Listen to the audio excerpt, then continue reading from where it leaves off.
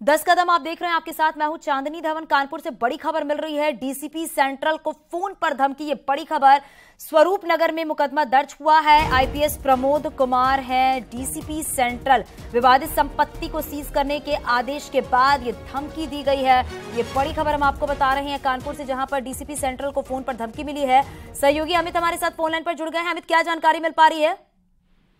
देखिए, चांदनी जी, मैं आपको बताना चाहूँगा, ये पूरा मामला स्वरूपनगर थाना क्षेत्र का है, जहाँ डीसीपी सेंट्रल प्रमोद कुमार है। एक मामला, सिविल का मामला, जब वकील के माध्यम से वहाँ पहुँचता है तो उसके बाद उन पर दबाव बनाया जाता है कि उनके पक्ष में किया जाए, जिसको इनकार कर देते हैं और उसके बाद से शुरू होता है फ़ोन करने का सिलसिला। इसी कड़ी में एक अधिवक्ता जो अपने आपको बताया जा रहा था, जिसने अपने पहले नाम प्रमोद बताया, फिर आशीष बताया, फिर दिनेश बताया, तीन बार उसने अपने नाम बदले और उसके बाद जब सरकारी फ़ोन को पेशकार ने उठाया तो उसके बाद उसने उनको डराना धमकाना शुरू कर दिया और अपने पक्ष में यदि नहीं करते हैं तो अधिकारी को देख लेने तक की धमकी और नौकरी करना मुश्किल ऐसे तमाम शब्द का इस्तेमाल किया गया। हालाँकि वो ऑडियो अभी पुलिस के पास ही है और उन्होंने अपने अधिकारियों को दिया। इन सब के बीच स्वरूप नगर में जब ये मामला सामने आता है तो पेशकार और वहाँ जो पी पीआरओ उनमें हड़कम मच जाता है और अचानक वो नंबर स्विच ऑफ़ हो जाता है, जिसके बाद उस नंबर को ट्रेस कराया जाता है, जिसके आधार पर पुलिस आगे जुट गई। इन सब के बीच पेशकार ने स्वरूप नगर थाने में एक एफआईआर दर्ज कराई है और जिन सुसंगत गाँव में एफआईआर है, उसके बाद से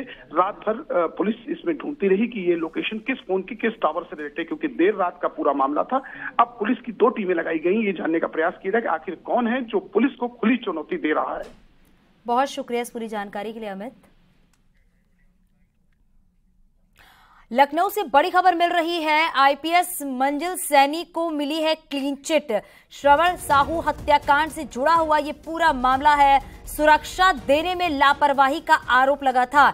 एनएसजी में डीआईजी हैं मंजिल सैनी। ये बड़ी खबर हम आपको बता रहे हैं, लखनऊ से मिल रही है, जहाँ पर आईपीएस मंजिल सैनी को क्लीन चिट मिली है। श्रवण साहू हत्याकांड से जुड़ा हुआ ये पूरा मामला बताया जा रहा है।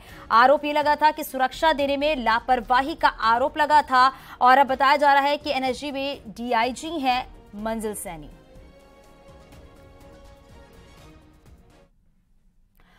बागपत से बड़ी खबर मिल रही है। गड्ढे में डूबने से दो बच्चों की मौत हो गई है। हाईवे निर्माण के दौरान बने गड्ढे में नहाते नहाने के लिए उतरे थे। ये दोनों गड्ढे में बनी दलदल में फंसने पर डूबे हैं बच्चे। बड़ौत कोतवाली क्षेत्र के लोहड़ा गाँव के निकट की पूरी घटना बताई जा रही है। और परिवार में कोहराम मचा हुआ है। परिवार का रो रो कर बुरा हाल है, क्योंकि गड्ढे में डूबने से दो बच्चों की मौत हो गई है। बताया जा रहा है कि ये जो बच्चे हैं, वो नहाने के लिए उतरे हुए थे, लेकिन इसी दौरान ये बड़ा हादसा हुआ है। बताया जा रहा है कि बड़ौद कोतवाली क्षेत्र के लोहड़ा गाँव के पास की पूरी घटना बताई जा रही है, जहाँ पर गड्ढे में बनी दलदल में ये दोनों बच्चे जो हैं वो डूब गए और डूबने की वजह से दोनों बच्चों की मौत हो गई है। तो ये खबर बागपत से सामने आई है, जहाँ पर दो बच्चों की मौत हो गई है। हाईवे निर्माण के दौरान जो गड्ढे बने थे, उसमें ये बच्चे नहाने के लिए उतरे थे और इसी दौरान वो दलदल में फंस जाते हैं। और दो बच्चों की मौत हो गई है।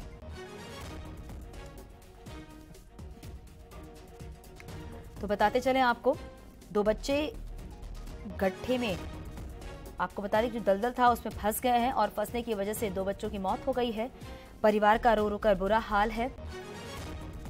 शहजाद सहयोगी हमारे साथ जुड़ गए हैं। शहजाद, क्या जानकारी मिल पा रही है?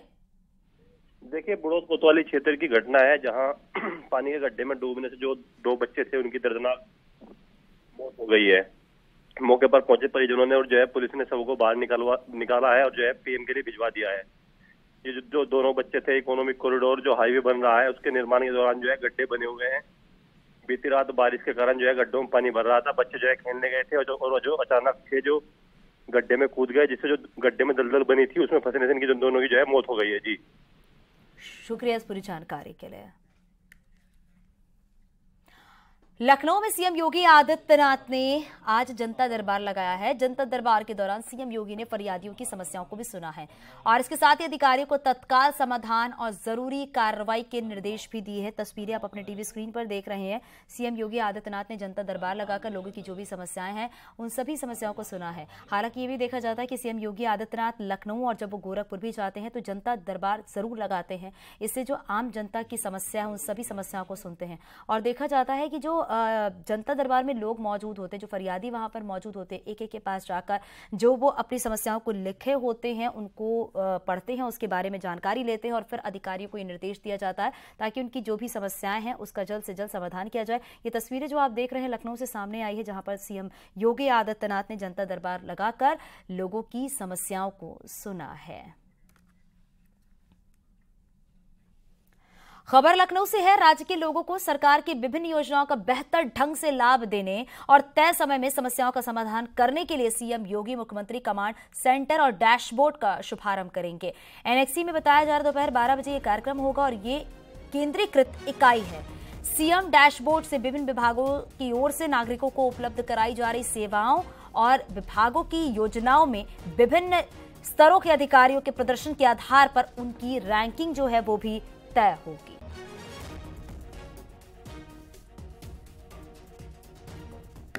सीएम योगी आज दोपहर के बाद गोरखपुर के दौरे पर जाएँगे। सीएम योगी आज बताते चले आपको एनएक्सी भवन में व्यापारियों और शिक्षाविदों के साथ संवाद भी करेंगे और अपना सुझाव भी देंगे। सीएम योगी आदित्यनाथ गोरखनाथ मंदिर में रात्रि विश्राम भी करेंगे। तो सीएम योगी आदित्यनाथ आज गोरखपुर भी जाएँगे। बताया जा रहा है कि मुख्यमंत्री कमांड सेंटर डैशबोर्ड का शुभारंभ करने के बाद गोरखपुर पहुँचेंगे। एनएक्सी भवन में कार्यक्रम है और शिक्षाविदों के साथ सीएम योगी आदित्यनाथ संवाद भी करेंगे। पीएम मोदी आज मन की बात प्रोग्राम के ज़रिए ही देशवासियों से बातचीत करेंगे। पीएम मोदी के मन की बात का ये 103वां एपिसोड होगा और सुबह 11 बजे पीएम मोदी मन की बात करेंगे। हालाँकि बताया जा रहा है कि मन की बात में प्रधानमंत्री नरेंद्र मोदी कई ऐसे मुद्दे हैं जिनको लेकर वो बातचीत भी कर सकते हैं। तो पीएम मोदी के मन की बात की आज 103वां एपिसोड है। और बताया जा रहा है सुबह 11 बजे पीएम मोदी मन की बात करेंगे देशवासियों से। हालाँकि इस दौरान देखा जाता है तमाम मुद्दे हैं जिनको लेकर वो चर्चा भी करते हैं।